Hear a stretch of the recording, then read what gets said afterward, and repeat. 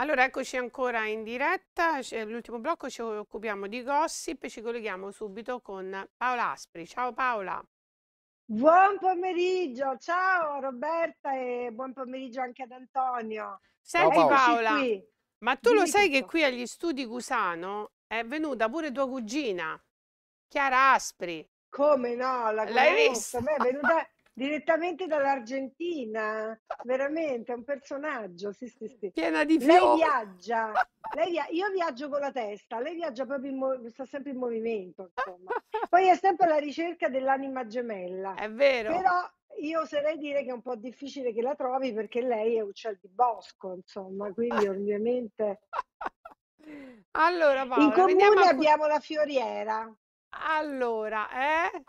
Senti, veniamo a la questo, questo grande fratello che ci sono state delle uscite Allora, clamorose, vai. beh, diciamo 38esima puntata del Grande Fratello, l'abbiamo vista giovedì e devo dire che nonostante Signorini abbia più volte eh, detto ai suoi vipponi e, e anche a- ovviamente agli utenti di Twitter, ai vari utenti social, di eh, essere un po' meno volgari nelle esternazioni, beh, devo dire che il livello del, diciamo, della puntata si è abbassato notevolmente, nel senso che i vipponi o un po' per stanchezza, proprio perché non c'è educazione, infatti i signorini eh, diciamo nella puntata se l'è presa soprattutto con Edoardo Donnamaria, perché Edoardo Donnamaria cercava in tutti i modi di discolparsi, ma in realtà, eh, diciamo, Signorini non, non gli ha fatto proferire parola, diciamo.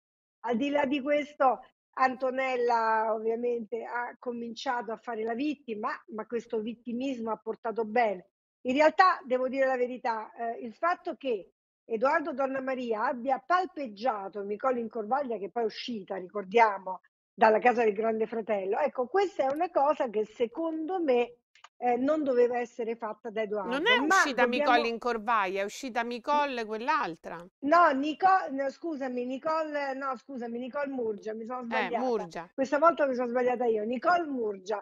Nicole Murgia ovviamente è uscita perché, eh, vabbè, con tutto quello che gli hanno fatto, diciamo, in puntata, è normale, diciamo, che, che dovesse essere questa la conclusione. Però il palpeggiamento da parte di Edoardo è stato inopportuno, perché una cosa del genere non va fatta, insomma. Ma da Edoardo ci si può aspettare questo e quell'altro, è la cosiddetta ribellione di una persona un po' eh, sottomessa a- ad Antonella che alza la testa e la alza in maniera sbagliata, perché poi abbiamo visto anche in puntata che è arrivato anche il papà di ovviamente di Edoardo Donnamaria Vincenzo che se in un primo momento aveva supportato suo figlio no? nella storia con Antonella in tutto quello che faceva all'interno della casa dicendogli bravo in puntata invece gli ha dato addosso ha detto tu hai sbagliato tu parli eh, dietro le spalle della gente poi ti fidi del- dei tuoi ovviamente amici vipponi che invece fanno il loro gioco e ovviamente ti fanno marameo ecco questo è il succo della situazione ma in realtà voglio dire Edoardo continua ad essere bersagliato perché secondo me non gioca bene le sue carte fondamentalmente, è un bambino e, e Antonella eh, ovviamente diventa eh, quella più forte, soprattutto agli occhi dei fan, no? Però diciamo che i fan cercano la storia d'amore e in realtà anche oggi è arrivato un aereo dei Donnalisi, ovviamente, che dice appunto noi ci crediamo avanti con il sogno, come per dire noi vogliamo rivedere insieme, ma in realtà questi due, in realtà questi due si parlano e non si sono mai lasciati fondamentalmente. Però Antonella ha detto chiaramente in questa occasione ho scoperto cos'è l'amore. Poi ovviamente io e te non ci vedremo più. Edoardo rideva so- sotto i baffi che non ha, ovviamente diceva ma ma stai zitta, come per dire, non è vero quello che stai dicendo, noi ci vedremo e come.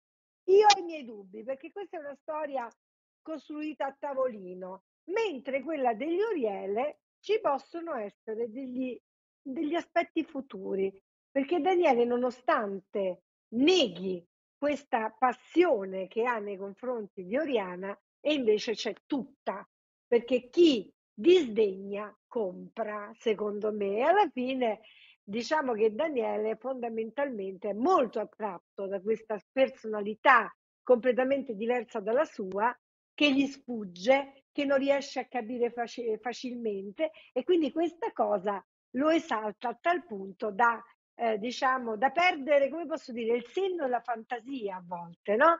Adesso ho fatto un racconto un po' così, diciamo, però la realtà è proprio questa, insomma. E alla fine poi ci sono stati anche degli sviluppi, no? De- riguardo alla puntata 38esima. Senti, la Troppe famosa serata del van, tu ci hai capito Sì, qualcosa? Che cosa è successo realmente? Perché guarda, hanno la staccato i microfoni. van, sì, la serata del van non ne hanno parlato molto bene, cioè non ne hanno, de- non hanno detto quello che è successo veramente. Voi sapete che Edoardo e Nicole eh, Murgia sono usciti per andare a votare, come gli altri ovviamente, e quando sono andati a votare e sono rientrati, proprio quella famosa sera in quel van, hanno detto delle cose che non dovevano dire, che hanno appreso dall'esterno. Quindi questa cosa sembrerebbe sia stata una cosa che non dovevano fare. In più ci sono, sono stati anche eh, delle, delle situazioni che non hanno detto in puntata, che loro si mettevano d'accordo per fare le votazioni nel famoso van, cioè c'era proprio una va- lavagnetta che poi è stata vista in un video vi- virale mandato in rete da un utente, una lavagnetta che loro prendevano e con cui scrivevano i soliti spartani di cui sappiamo i nomi, chi doveva essere, diciamo, eh, votato in puntata. Quindi questo, ecco, fondamentalmente c'è questo che poi non è stato ben sviscerato da signorini perché ovviamente non è giusto sviscerarlo, insomma, o addirittura signorini, gli autori, perché gli autori che mandano avanti questo programma e gli autori che a questo punto si sono trovati contro anche Pier Silvio Berlusconi. Perché dico questo? Perché è notizia proprio di ieri che Pier Silvio non ha mandato in onda la replica sulla 5 di Il giorno appunto dopo. del, del grande fratello VIP, L'ha proprio né abolita Paola. lunedì, eh? L'ha proprio abolita. L'ha proprio abolita, quindi l'ha abolita perché ha detto che non ne può più di queste volgarità, non ne può più di queste dinamiche volgari, però non è che se l'è presa ovviamente con Signorini, anzi è in accordo con La Signorini notizia che è proprio questa, che è in questa... accordo con Signorini, ma è contro gli autori, sembra. Esatto, sono gli autori a aver creato questa, questa situazione fondamentalmente. Troppo volgarità, troppe dinamiche che sono più volte, eh, tutti i vipponi sono stati redarguiti, poi lo sappiamo benissimo in puntata. Però sembra che questa cosa non interessi a nessuno, o forse sono gli stessi autori che durante, eh, quando non, non siamo in diretta, ovviamente, eh, stimolano gli stessi vipponi a creare delle dinamiche abbastanza trash, altro che trash, oserei dire, vabbè, Ultra lasciamo trash. perdere, molto trash. Quindi a questo punto eh, Berlusconi ha preso questa, questa cosa, però io voglio fare una domanda, ma qual è il motivo per cui tutti quanti criticano poi questa edizione del Grande Fratello, però poi va avanti ancora più trash di quello che è? Ma insomma, bisognerebbe veramente apportare delle modifiche. È vero che manca solo un mese ormai, ormai le modifiche non ci sono più da fare, però magari, sinceramente, ci sono delle persone che andrebbero veramente redarguite. Uno tra questi, secondo me, è Tavassi. E adesso mi schiero con Sonia Bruganelli, che anche se è stata cruda in puntata, è giusto che l'abbia ripreso perché Tavassi fa la differenza perché Tavassi è un manipolatore ed è vero questo. E quando io mi collego, per esempio, in qualsiasi momento della giornata su Mediaset Extra, vedo che Tavassi pungola le persone a fare quello che dice lui. Sono, è il burattinaio del grande fratello VIP. Questo, questo ragazzo riesce a Sofia Gele Donà, a tutte quelle che magari sono meno personalizzate, a portarsele dietro. Ma lo stesso Luca Onestini. Quindi vuol dire che c'è qualcosa che non va.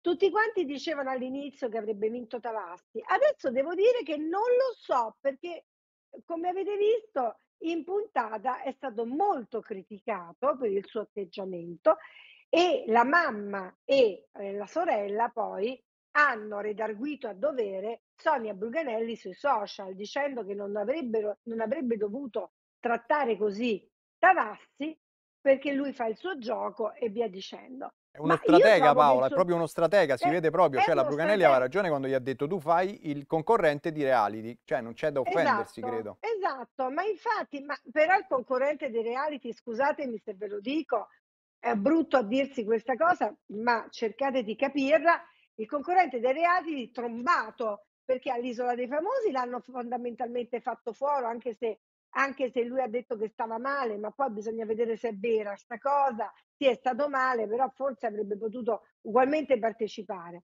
È un personaggio che sta in tutti i modi cercando di trovare il reality dove vincere e secondo me lui ci fa affidamento su questa vittoria, ma io credo e lo dico che non sarà sicuramente Tavassi a vincere, ma Antonella Fiordalisi e Oriana Marzoli hanno delle buone possibilità. Peraltro Oriana Marzoli, che le altre volte avevamo parlato male, che è una, diciamo una gallinella così, insomma, neanche dalle uova d'oro, ma in realtà nell'ultima eh, puntata abbiamo visto che ha preso le difese di Antonella Fiordalisi perché ovviamente ha detto io un ragazzo, il mio ragazzo che palpa i seni a, ad un'altra donna, eh, io non ci starei ovviamente. E, ed è, eh, ed è, è attuato la solidarietà femminile nei confronti di, ovviamente, di Antonella, pur non sopportandola, pur dicendo in puntata che loro due non sono mai andate d'accordo. Però c'è stata una solidarietà e devo dire che Oriana in questo caso ha dimostrato, vuoi per dinamica, vuoi per astuzia, quello che volete voi, comunque ha dimostrato di essere una persona con una certa umanità, anche perché poi ci ha avuto tutti contro, diciamolo, tutti gli spartani contro, tutto il suo gruppo contro, perché lei si è schierata con Antonella e voi sapete molto meglio di me che eh, gli spartani sono contro Antonella e Edoardo, che fa parte degli spartani, il più delle volte ha avuto screzi Anto- con Antonella proprio per terze persone e queste terze persone ha un nome e cognome Edoardo Tavassi che lo ha rigirato come un pedalino contro Antonella, secondo il mio punto di vista. Questa è la realtà. Poi c'è anche un'altra notizia, la notizia che in questi giorni Antonella Fiordalisi cosa ha fatto? Ha detto che ha una sorella, l'avete sentita questa cosa? Ha una sorella che si chiama Maria Antonietta. Questa sorella è, figlia, è figlia diciamo, della mamma che l'ha avuta con un altro uomo precedentemente e questa ragazza ha voluto vivere insieme al papà, non ha voluto vivere insieme eh, diciamo, alla nuova famiglia della mamma. Allora, in questo caso Antonella era rimasta in buoni rapporti fino a cinque anni fa. Cinque anni fa è successo, questo l'ho raccontato ad Andrea Mestrelli e a Davide Donatei, in, diciamo durante una giornata, e eh, gli ha detto, dice, guarda, è successo questo, però io non vi dico il perché, mia sorella non mi vuole più vedere. Quindi questo sarà motivo anche di discussione per la 39esima puntata. Questa sorella che, che eh, diciamo mm, rimane, cioè, è un fulmine a ciel sereno perché noi non pensavamo che Antonella avesse una sorella e qui si infittisce un'altra dinamica, una dinamica che potrebbe essere il fulcro di questa nuova puntata. Poi 16 ore fa, cosa è successo? Oriana Mar- Marzoli origlia dentro, vicino al confessionale, perché Daniele stava parlando in confessionale e diceva non ho nessun stimolo a stare in questo programma perché questo programma non lo vince uno come me, lo vince una come Oriana. Io non voglio stare con lei, ma devo starci per forza perché se no lei si mette nel letto e piange e fa la vittima. Allora, io vorrei dire un'altra cosa. Adesso sono d'accordo con Oriana che parlando con Antonella ha detto io non capisco perché questo ragazzo viene al grande fratello, fratello VIP per poi ovviamente dire no, questo non mi piace, non voglio fare le clip e poi si arrabbia per qualsiasi cosa. Ma allora che ci sei venuto a fare? E anch'io sono d'accordo, perché se uno fa un reality non può continuamente dire questo non va bene, questo non va bene. Ha un po' scocciato Daniele, ha un po' scocciato perché insomma sinceramente prima dice una cosa, poi si riavvicina a Oriana, poi è seriamente preso da Oriana, ma molto di più di Edoardo Donna Maria nei confronti di Antonella. C'è una differenza enorme. Paola, ma l'altro opinionista, Disney... Orietta, come la vedi tu? Beh, Orietta è migliorata. Certo, non si, si deve sincronizzare un po' meglio con, diciamo, i momenti della casa. A fare il controcanto perché... con... No. No, perché si deve sincronizzare meglio nei momenti della casa, perché l'altro giorno parlava di Nikita Pellizzone e non c'entrava niente. Si stava parlando di Antonella Fiordalisi e lei se n'è uscita con un'altra cosa.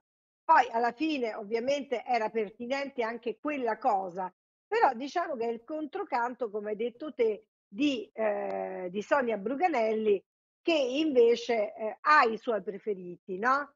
Antonella Fiordalisi, invece, eh, invece Orietta Berti ha Luca Onestini come preferito, che peraltro, se vogliamo, vogliamo dirla tutta, Luca Onestini quando c'è Ivana, la sua ex fidanzata, è migliora di gran lunga, solo che Ivana adesso se n'è andata. Ecco, come l'hai vista Onestini... questa cacciata senza neanche poter salutare gli altri? Beh, io l'ho vista come una strategia da parte degli autori, perché hanno voluto spiattare Luca Onestini. Allora, forse avrebbero voluto rubare a Luca Onestini la promessa di un ritorno insieme a Ivana, che in realtà non c'è stato, perché Signorini gliel'ha detto, no? Dice, ma ritornerete insieme? E lui ha detto, ma io mhmm, non, non, non ho niente in contrario, però dovremmo deciderlo fuori da qui. Quindi, e poi lo ha ribadito in questa giornata dicendo agli altri nipponi che è stato molto contento dell'entrata di Ivana, che loro si sono ritrovati, peraltro era un anno e mezzo che non si vedevano più per ovvi motivi, si erano lasciati anche un po' in malo modo e adesso c'è l'occasione di rinsaldare questo rapporto, però sia lui che lei non è che hanno dato delle certezze, capito? Hanno lasciato un po' così la cosa in sospeso e chissà se si rimetteranno insieme. Io dico chissà perché bisogna sempre pensare che queste reunion di coppie sono fatte anche per creare clamore per creare notizie, dinamiche, insomma. Senti, ma Sara Altobelli, adesso che se n'è ritornata a Bari, farà amicizia con uh, Attilio Romita quello... oppure no? Secondo me assolutamente no, perché Attilio si è rimesso con Mimmuzza, l'abbiamo visto anche in puntata. Un po' ringalluzzito. È ringalluzzito, ma io gli darei anche un consiglio, no? Cioè a, a Sara Altobello, perché peraltro volevo spendere una lancia in favore di Sara perché a me è molto simpatica. Il suo essere svampita è, è qualcosa che è completamente diverso dal solito, dalle solite che stanno là dentro e secondo me non lo è svampita manco per niente, è una persona col sale in zucca e gioca un ruolo che è quello che gli si addice meglio e lo gioca abbastanza bene. Secondo me forse farà un pensierino su quel famoso Tony, il suo Eh, quell'anello, i fiori. Esatto, il manager innamorato di Ci lei ricordiamo il cavallo davanti alla esatto. porta rossa del Grande Fratello. Esatto, il, diciamo, l'uomo convinto che possa conquistare questa donna alta, poi peraltro rispetto a lui, però insomma devo dire che forse alla fine scederà, perché Tony fondamentalmente è un uomo molto buono, è un uomo che la sa capire, è un uomo che la sa comprendere e soprattutto eh, non, diciamo la gestisce in maniera sua. Quindi sicura, sicuramente potrebbe unire l'utile al dilottevole, secondo me, nel senso un manager, una persona che, la, che gli cura gli interessi. E poi Sara, Sara è divertente e mi è anche dispiaciuto che ha lasciato la casa perché lei ha un senso, Mentre adesso devo dire la mia, anche se io conosco Milena Miconi e, e, e per me è una persona mh, eccezionale, all'interno della casa però non sta eh, risaltando come dovrebbe. Perché? Perché è lei che vuole fare quel ruolo lì quello della donna che sta ai fornelli, quella... ma perché Milena? Non è un po' over come età, scusa Paola, over vuol dire che ovviamente è più grande, sì. ma non per questo è una colpa, insomma, no? È più grande rispetto alla media no. di Tavazzi, di Nicole. Mes- dovrebbe mettersi in gioco in un'altra maniera. Ecco, questo voglio cioè, dire. Nel senso, quel tipo di realtà della mamma, della finta mamma, quella che accudisce tutti, quei, posso dire, quegli scapestrati che non mettono a posto niente. Ma no, ma basta questo ruolo. Lo hanno avuto in passato anche altre donne che sono entrate lì nella casa, Matilde Brandi, Manila Lazzaro. No, cambiate modo comportamentale all'interno della casa, cercate di fare anche le fan fatale, anche se avete più anni, perché Milena Miconi è una donna molto affascinante e non ha niente a che vedere con quelle quattro sgallettate che stanno là dentro. Se vuole Milena se le mangia tutte, ma perché fare la parte della casalinga? Scusatemi, ma con tutto il rispetto per le casalinghe, ma non, non c'è modo, cioè togliti da quel ruolo di stare sempre ai fornelli, di fare sempre la pizza, cioè siamo, non lo so. Un, Dovrebbe porsi in modo diverso, me... dici tu. Sì, è un modo diverso, secondo me bisognerebbe cambiare un po', un po' ruolo, tant'è che fino alla due puntate fa, Signorini non gli aveva dato proprio conto a Milena Miconi. Poi ha creato quella farsa, perché così si può dire, di Milena Griconi che era contesa tra Antonino Spinalbese e Andrea Maestrelli. Forse quella, cioè, come dici eh, tu, è creato un po' ad arte. Sì, creato ad arte, creato delle dinamiche che secondo me non hanno motivo di esistere. Io la Milena che conosco al di fuori del Grande Fratello non l'ho vista all'interno della casa, deve uscire fuori.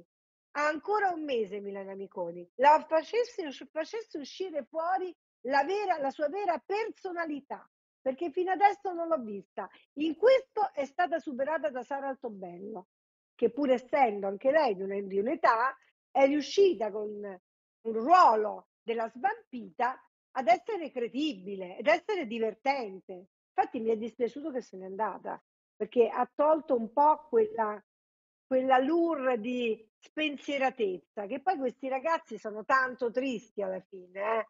non è che poi sono tanto divertenti, diciamola tutta.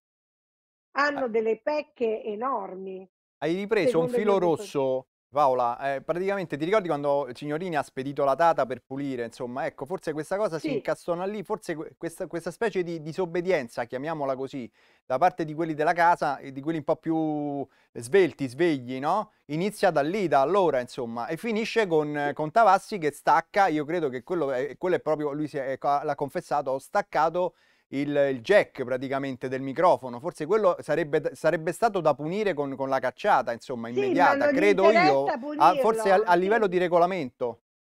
Sì, ma non gli interessa punirlo per il semplice fatto che crea delle dinamiche. E, infatti, e poi ricordiamoci anche che Tavassi aveva un conto in sospeso anche con, ricordiamolo, con eh, Romita, quando è uscito, mh, mm, Romita è uscito, ma è Romita è uscito che ce l'aveva sia con Tavassi che con Edoardo Donnamaria. Eh, ricordiamolo, è uscito senza salutare nessuno. Tavassi, senza salutare nessuno, ma un po' ha ragione, perché scusami, Romita era un, è un grande giornalista, diciamolo, e stava creando un format all'interno del GF eh, per divertimento, eh, che era funzionale, no? in un certo senso, faceva divertire. Questo format poi è stato eh, preso da Tavassi, gli è stato rubato sotto gli occhi quindi lui ci è rimasto male e quindi in questo è stato dittator- dittatoriale, despota e ha manipolato le persone a suo modo. Tavassi è un manipolatore, ha ragione Sonia. Io all'inizio non l'avevo capito, pensavo che era il ragazzo divertente che voleva far girare. Peraltro, Nicolin Corvaglia, la sua compagna, perché ormai stanno insieme, eh, ha detto dopo la fine della puntata che lei se ne voleva andare. Avete visto? Non se n'è andata perché non c'ha nessun interesse ad andartene. Pure quella lì è un'altra che sta cercando un modo per emergere. Si è messa vicino a ovviamente Tavassi, che è il manipolatore per eccellenza, e ovviamente fa la compagna del manipolatore, quindi creano delle dinamiche ad arte. Ovviamente. E poi il leader vorrebbe fare il leader a partire da quel fatto, quello che hai detto tu con, con Attilio, no? Sì, ma è il leader a tutti gli effetti, oltretutto è anche cattivello. E lì ha tolto proprio lo scettro ad Attilio, diciamolo, diciamola pure la, la sì, cosa. Sì, sì, ma nell'ultima puntata abbiamo visto che Davide Donate, Donadei gli è arrivato un Twitter, hai visto, da parte di Chiara Rabbi, che era la sua ex, che, cui, la, che aveva un conto in sospeso con lui sì. per un tradimento. Ovviamente la cosa è passata sotto traccia, mentre Edoardo, Edoardo Tavassi, poi dopo la puntata, gli ha detto: Ma come mai? Ma cos'era quel tweet? Che voleva dire? E lo provocava e lo provocava. Alla fine Davide ha sbottato, ha sbottato in maniera tale che c'è stato un veramente eh, passato dalla parte del torto Davide perché gli ha urlato contro a Edoardo, ha detto fatti i cavoli tuoi, queste sono cose mie.